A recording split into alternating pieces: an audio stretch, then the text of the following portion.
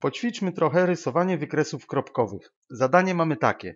Teresa zmierzyła odległości od swojego domu do paru miejsc w mieście z dokładnością do pół kilometra.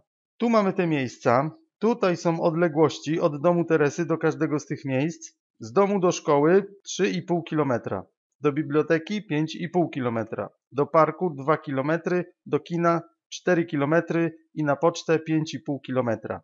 I pytanie brzmi, ile kropek powinno znaleźć się na wykresie przedstawiającym wyniki tych pomiarów?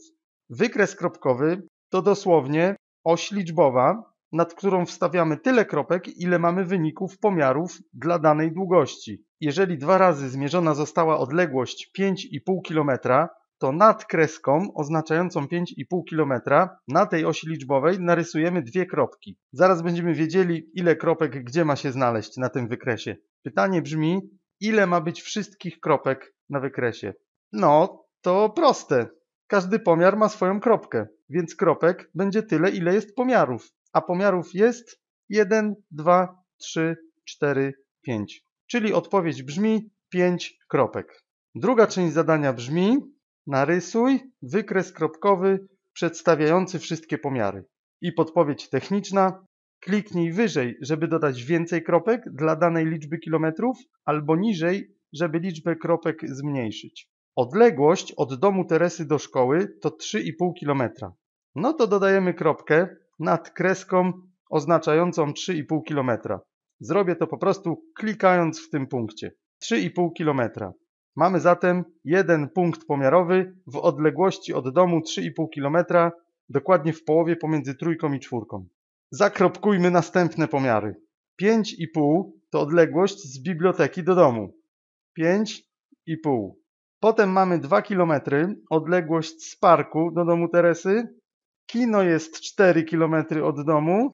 I na koniec poczta 5,5 km od domu, tak jak jeden z poprzednich pomiarów. Mamy zatem dwa punkty pomiarowe z wynikiem 5,5. I właśnie skonstruowaliśmy wykres kropkowy. W różnych punktach osi liczbowej pokazuje on, ile mamy wyników pomiarowych. Mamy jeden pomiar z wynikiem 2 km, jeden pomiar z wynikiem 3,5 km, jeden pomiar z wynikiem 4 km i dwa pomiary z wynikiem 5,5 km. I zauważcie, że zapisaliśmy wcześniej, że będzie na wykresie 5 kropek i mamy 1, 2, 3, 4, 5 kropek. Jedna kropka dla każdego pomiaru. Sprawdźmy, czy odpowiedź jest prawidłowa i zróbmy jeszcze jedno podobne zadanie. Zmierz długość każdego odcinka z dokładnością do 1 czwartej cala. Wyniki pomiarów przedstaw na wykresie kropkowym. Żeby wykonać pomiar, przyłóż linijkę nad mierzonym odcinkiem, tak żeby jej lewy koniec przylegał do początku odcinka. Odczytaj wynik z prawego końca odcinka. No to mierzymy. Najpierw zielony odcinek. Wygląda na to, że ma długość 6 i Jeden cal podzielony jest tu na 1, 2, 3, 4 części. Wygląda to na 6 i 3 czwarte.